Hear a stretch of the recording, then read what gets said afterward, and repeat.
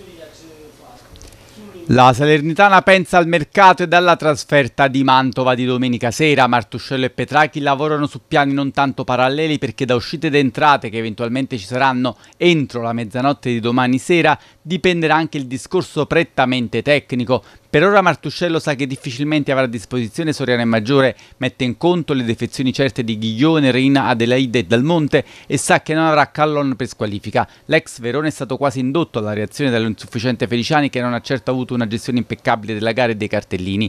Ingenuo e plateale però l'attaccante Granata dovrà mordere il freno. Il mercato entra nel rush finale e Petracchi proverà a piazzare ancora qualche colpo in uscita per poi avere spazio anche per entrate in un momento successivo. Ferrari e Joao Pedro sono svincolati e da oggi lo è anche l'esperto terzino ex Benevento Letizia. Il Verone e il Salisburgo sono su Daniluk, gli Scaligeri hanno offerto il centrocampista Ruzic, mentre Ghilardi potrebbe passare alla Cremonese. Si dovrà definire in questo il futuro di Braderic, Legoschi e Koulibaly. Ad eventuali uscite corrisponderanno delle entrate. Il conto alla rovescia per il gong della mezzanotte di domani è cominciato, poi però potrebbe esserci l'opportunità di rivolgersi al mercato degli svincolati.